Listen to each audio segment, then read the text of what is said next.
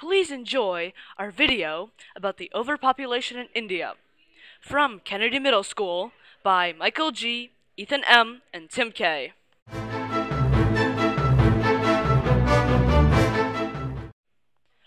Overpopulation is a state of having a very dense population such that it leads to social and economic problems. India's current population is over 1.28 billion. India is the second largest country by population.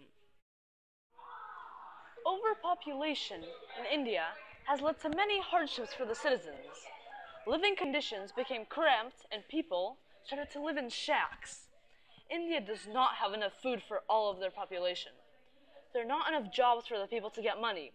There is a shortage of electricity, roads, and healthcare. The overpopulation in India makes life for the citizens very hard.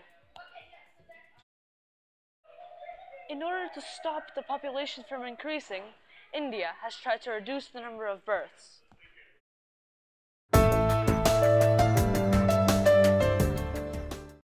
Hello, my name is Ethan Miller. The people of India were outraged and brought down the Prime Minister Indira Gandhi, but a population decline would be very beneficial to the country economically. In 2050, India's population is going to be approximately 1.69 billion people.